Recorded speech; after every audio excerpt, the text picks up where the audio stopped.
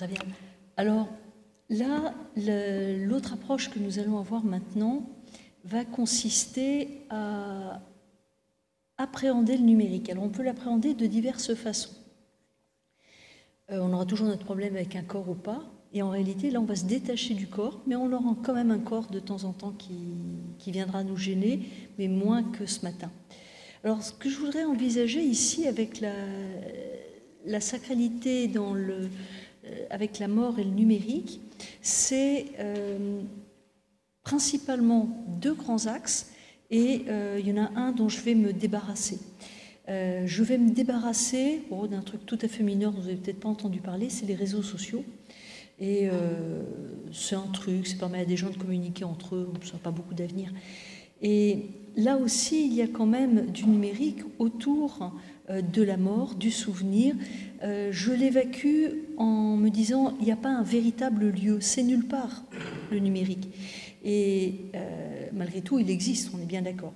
En revanche, ce qui va m'intéresser un petit peu plus, donc on est bien d'accord, il y a tout un sujet là-dessus à faire, mais euh, ce qui m'intéressait plutôt, c'était d'avoir une lecture euh, de mettre du numérique dans un cimetière.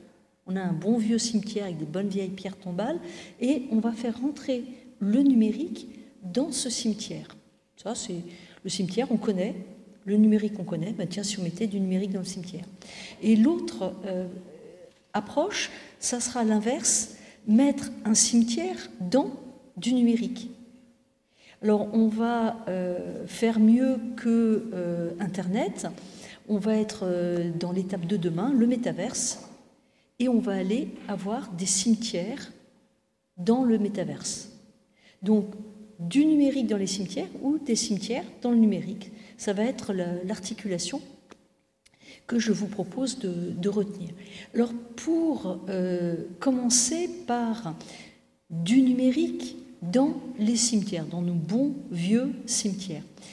J'ai ici des problématiques qui seront simples, classiques, anciennes, ou des problématiques pas simples mais anciennes, sans solution déjà hier et encore moins aujourd'hui, et euh, j'aurai quelques problématiques futures demain.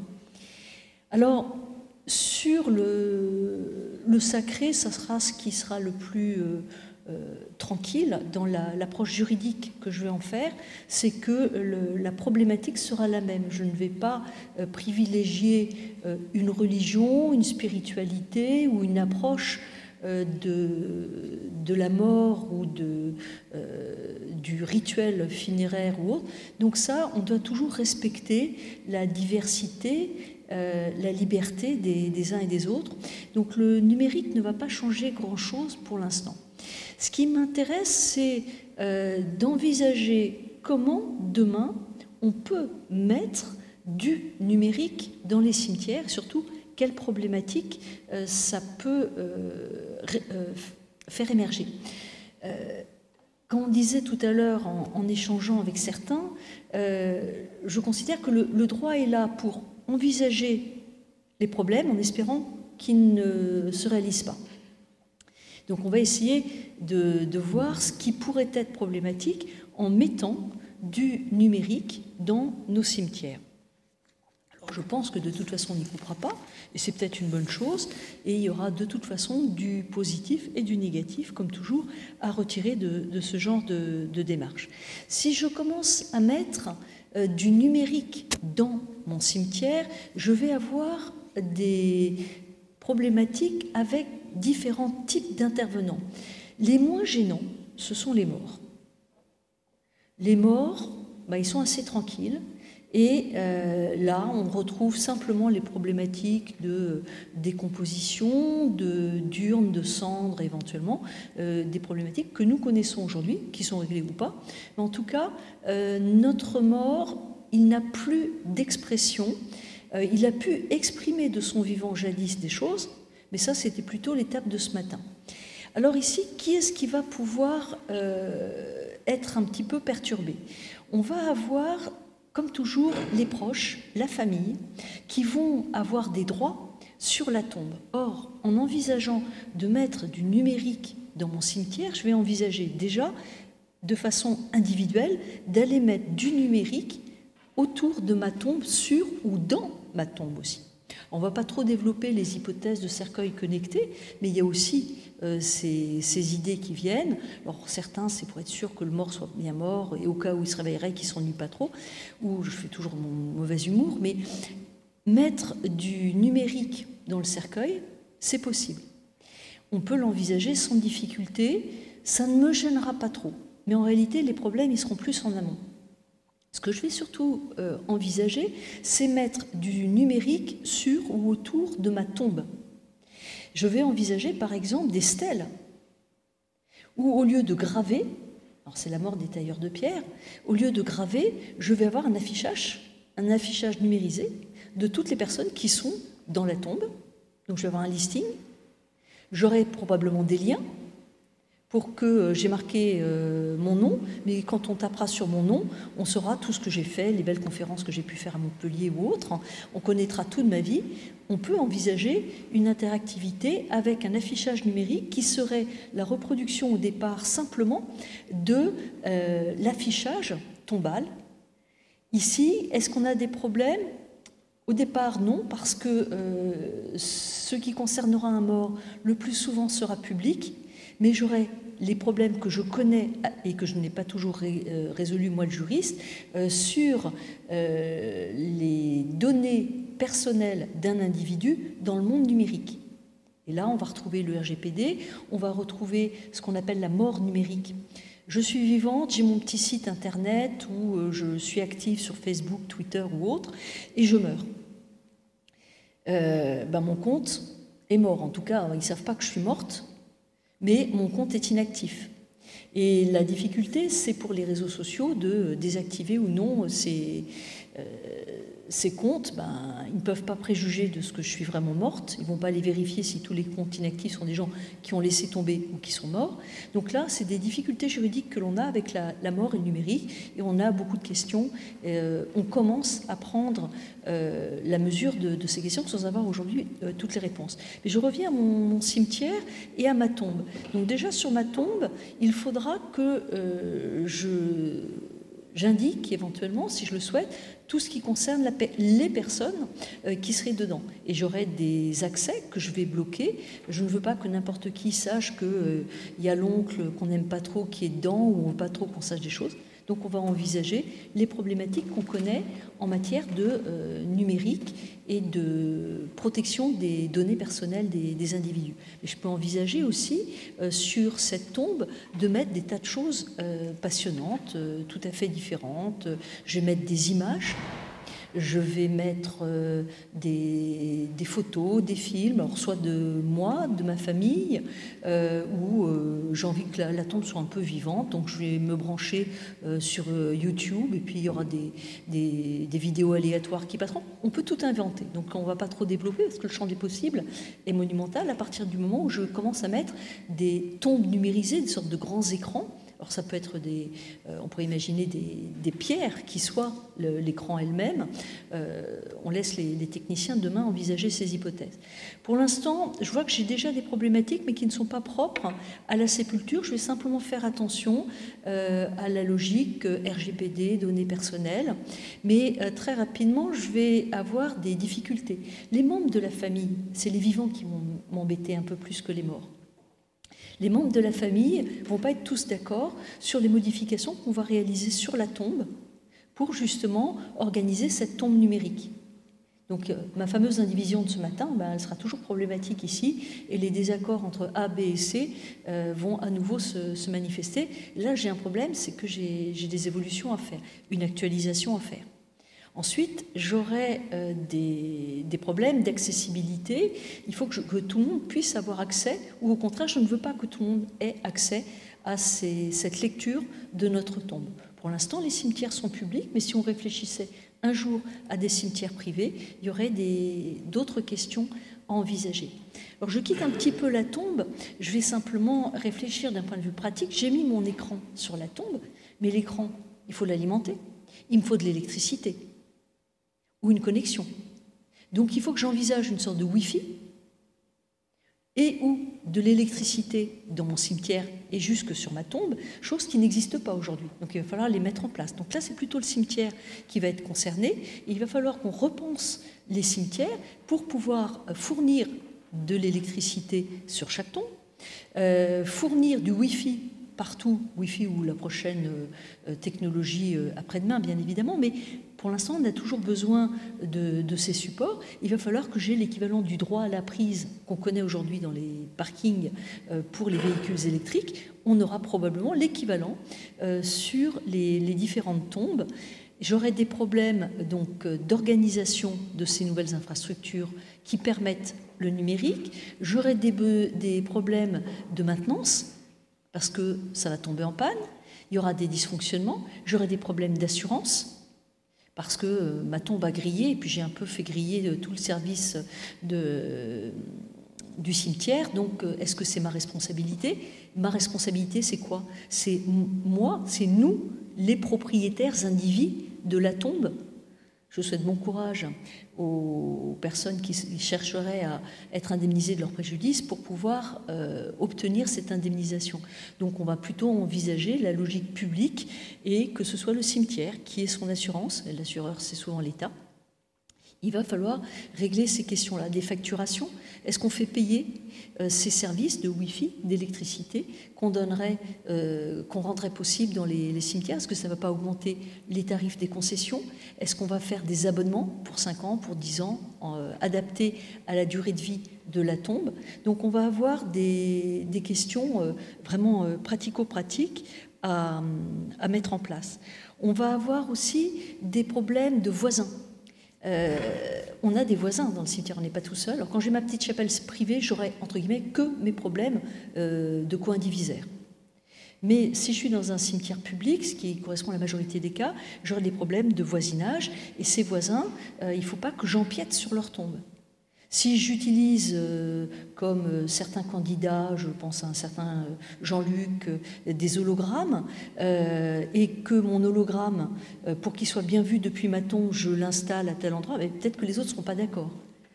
Alors, si je respecte la propriété privée et l'emplacement de ma tombe, là c'est bon, normalement j'ai le droit. J'ai déjà le droit d'avoir un signe religieux sur ma tombe qui ne correspondra pas nécessairement au signe religieux ou athée de la tombe voisine. Donc la logique voudrait que je puisse réaliser des hologrammes euh, représentant d'anciens défunts euh, ou des sculptures ou ce que je veux. Pourquoi pas? À condition de respecter la propriété privée, là on doit avoir une cohabitation possible. Je ferai attention à ce qu'il n'y ait pas d'empiètement. Il ne faut pas que mon hologramme, lorsqu'il étend le bras, soit au-dessus de la tombe voisine. Là, je porte atteinte à la propriété euh, privée euh, dans sa verticalité de la tombe voisine. Donc je fais attention à ce genre de choses, mais là, je retrouve des, schémas qui ont leur réponse euh, juridiquement. Mais donc, on a cette notion de voisinage, de trouble de voisinage et d'empiètement. Trouble de voisinage, si j'ai des systèmes sonores qui sont mis en place.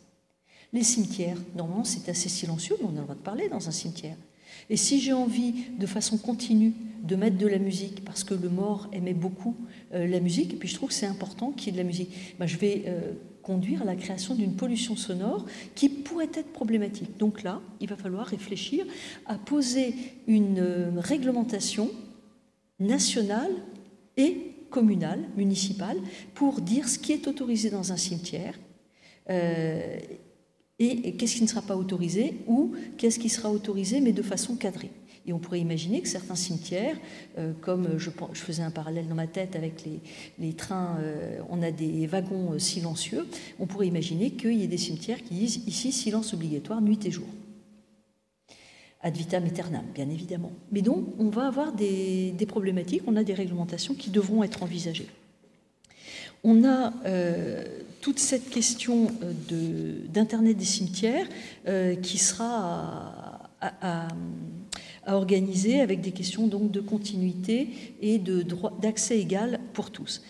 Si on enchaîne, on va envisager le, les cimetières numériques. Les cimetières numériques, la problématique est différente. c'est en progrès et j'ai envie de dire ce qui est en retard aujourd'hui, c'est mon grand A. Le grand B, il est déjà du présent. Ça existe déjà. Tout ce que je vais vous dire maintenant, ça existe déjà. plus ou moins développé. Euh, en revanche, ce qui, à ma connaissance, n'existe pas vraiment encore, c'est ce que j'ai développé pour l'instant euh, dans ma sous-partie précédente, c'est-à-dire de vous parler du numérique que je mettais dans nos bons vieux cimetières. Les cimetières numériques, ils existent. Alors l'une des premières étapes, ça a été euh, vers 2016, euh, une démarche un peu particulière euh, d'une femme. C'était en Corée. C'est toujours bien quand c'est loin, parce qu'on va dire que c'est les autres qui ont eu les mauvaises idées en premier. et c'était une femme qui avait perdu son enfant et on lui a mis tout un masque et un casque et elle a pu voir sa fille et retrouver sa fille euh, qui avait été filmée. Euh, et donc, en virtuel, elle retrouvait sa fille. Alors, c'est le premier pas de quelque chose qui prend maintenant une autre euh, dimension. On a aujourd'hui les dead boats, on a les chatbots et les dead boats. Qu'est-ce que c'est? Ce sont donc des agents conversationnels, si on veut prendre le terme plus français, et qui existent déjà, qui sont déjà euh, plus qu'en système d'élaboration, ils sont déjà mis en, place. Euh, on va, à partir des données qu'on aura récoltées des différents individus, euh, on va construire sa personnalité et la machine, l'IA, va pouvoir reproduire le, les idées, les goûts de la personne qui est aujourd'hui décédée. Donc vous allez pouvoir discuter avec moi même après ma mort parce que j'aurai donné toutes mes données et vous saurez que je préfère la viande au poisson et autres. Et donc la machine va euh, discuter avec vous quand vous allez me proposer qu'on aille se prendre un petit, un, petit resto euh, virtuel et euh, je, vous répondrai sans difficulté. La machine va le faire puisqu'elle aura tous les éléments et ça commence déjà. Et donc on a ces deadbots qui sont déjà opérationnels. Donc là, on voit une autre approche euh, qui nous conduit à la dernière qui est plus en lien avec euh, la, thématique d'aujourd'hui, ce sont des cimetières complètement virtuels. Des cimetières complètement virtuels, le métaverse a déjà intégré euh, les, cimetières virtuels. Je pensais que c'était simplement imminent qu'ils allaient bien, bientôt le faire. Non, en fait, ils l'ont déjà fait. Ils ont déjà réalisé leur premier cimetière virtuel. Et alors, ce qui est intéressant, c'est que les premiers cimetières virtuels euh, qui, sont créés euh, commencent par vous vendre quelque chose. C'est une chose un peu choquante, mais bon, on n'y aurait pas pensé. Mais bon, euh, ils viennent nous vendre des NFT, non-fungible token, vous savez, c'est quand on veut sur Internet euh, avoir la propriété d'une œuvre d'art, pour faire simple, on va la numériser et il n'y aura qu'une seule personne qui sera propriétaire de l'original et les autres n'auront que des copies. Et encore, je pourrais, moi, propriétaire de l'original, limiter la diffusion. Donc ça me permet d'appliquer mes droits sur cette œuvre d'art. Et donc on vous vend des NFT de tombes euh, sur ces cimetières euh, virtuels. Et donc, on a des espaces dédiés qui vont euh, vous proposer des super tombes très, très tendances, très modernes. C'est assez marrant. Vous pouvez aller jeter des petits coups d'œil sur, Internet. Ça existe déjà dans le métaverse. On vous propose des cimetières virtuels et surtout d'acheter des NFT pour avoir votre petite tombe, je vais le prendre sur moi, pardon, pour que j'ai ma petite tombe dans mon cimetière virtuel. Alors, ce qui va m'intéresser, euh, c'est toujours juridiquement les, projections. Qu'est-ce que je fais de tout ça? Alors, dans le virtuel, bon, bah, ça sera super. Euh, c'est pas gênant. J'ai pas besoin d'avoir un mort. Parfois, j'aurai un mort. Parfois, n'ai pas un mort. C'est-à-dire que je peux pouvoir créer une tombe dans le métaverse.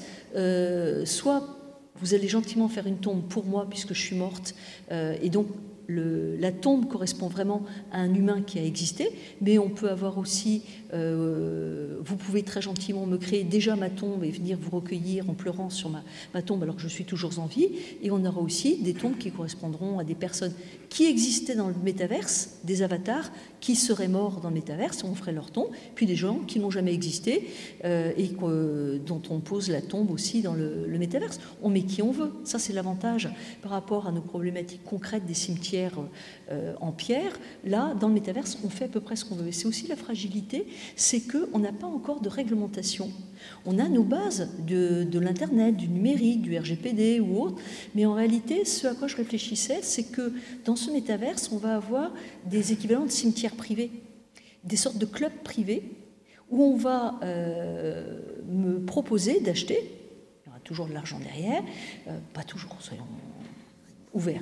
Euh, souvent, il y aura de l'argent derrière et on me proposera d'acheter euh, un espace, une super maison avec euh, trois niveaux, une grande piscine et ma, petite, ma petite tombe ou mon, carrément mon cimetière.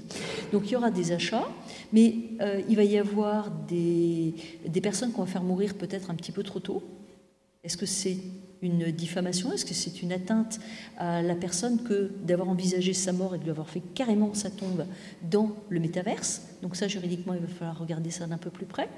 Et euh, du côté des, de ces cimetières, je vais avoir des exclusions, parce que c'est beau le métaverse, tout est beau là-bas, et euh, je ne veux pas qu'il y ait des gens euh, qui ne soient pas bien. Hein des gens en fauteuil, des gens qui ont de la barbe, euh, des gens qui ont des cheveux blancs. Donc je vais faire mon tri, hein. je vais faire mon tri et j'accepterai dans mon cimetière, qui est un super beau cimetière, que des gens que je choisis. Est-ce que c'est acceptable ou pas? Alors on a envie de dire non. Ben si, pourquoi pas Sur euh, Facebook ou autre, n'importe qui n'y est pas, seuls ceux qui y sont allés. Oui, mais si je m'inscris, c'est bon, n'importe qui peut y être. Ben non, parfois ça peut être payant, ça peut être un premier tri. Mais aussi, si je raisonne euh, association, une association ou un club, ils ont le droit de ne pas accueillir n'importe qui, à condition que ce soit dans leur statut. Donc il faudra que nos cimetières de métaverse aient leur propre statut pour pouvoir dire chez nous, on n'accepte que. Il faut tout prévoir à l'avance, faire attention à ne pas tomber dans la discrimination, on va tourner un peu. D'un autre côté, moi j'ai envie d'avoir un cimetière juif du métaverse, le premier cimetière juif du métaverse. Donc je ne veux pas de quelqu'un qui ne serait pas juif. Et là, je vais avoir des problématiques et je vais avoir des libertés religieuses qui vont intervenir et euh, des questions de discrimination ou d'exclusion. Est-ce que j'ai le droit d'accepter ou pas? Le dernier parallèle que je ferai, c'est de dire que ça existe déjà avec les copropriétés. Les copropriétés, vous avez euh, un appartement, euh, celui qui l'achète devra respecter la réglementation de la copropriété. S'il ne veut pas la respecter, il ne l'achète pas. J'aurai aussi des clauses d'habitation bourgeoise euh, dans une copropriété. Si quelqu'un veut avoir une activité commerciale bruyante, la copropriété peut l'exclure. Il faut que ce soit inscrit dans les statuts avant, et on fera malgré tout attention, on ne peut pas inscrire tout et n'importe quoi dans notre euh, règlement de copropriété. Donc on va laisser le métaverse et je vous laisse réfléchir à tout ce qu'on pourrait envisager pour demain. Mais je crois que nous avons de beaux jours devant nous dans nos cimetières du métaverse. Je vous remercie.